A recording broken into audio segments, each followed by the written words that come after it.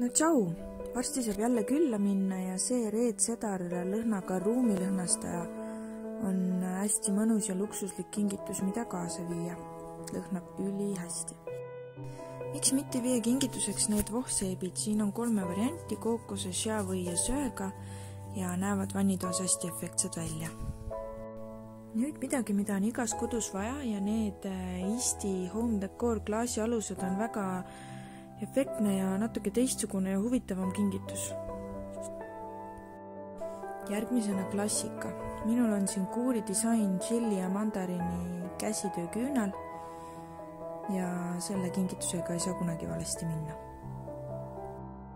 nüüd natuke soodsam, kaks head lappi ja äädika veelahusega mõnusas pudelis üldpuhastusvahend.